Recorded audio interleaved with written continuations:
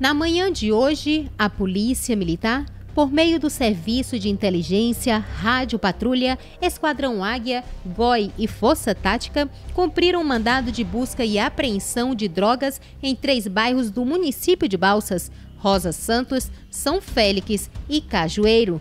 Nesta operação, seis pessoas foram presas. Nós cumprimos quatro é, local de busca e apreensão. Nesses locais foi fe foram feitas apreensão de drogas, né, dentre elas maconha e crack.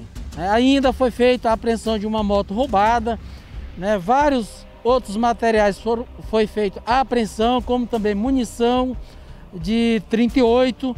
É, essas pessoas foram conduzidas, serão entregues agora na delegacia de polícia para as devidas providências. No local, vários objetos, além de dinheiro, foram apreendidos. Nós acreditamos né, que seja dinheiro aí proveniente da venda de drogas, né, como também é, balanço de precisão, papel de alumínio para embalagem. Né, então, é, se trata de traficantes, pessoas que já foram presas por tráfico de drogas e aí, mais uma vez, estão sendo presos e entregues à justiça aí para as devidas providências. Muitos materiais encontrados nas localidades podem ter sido provenientes de roubo. Tem várias bolsas, bolsas femininas, joias, né?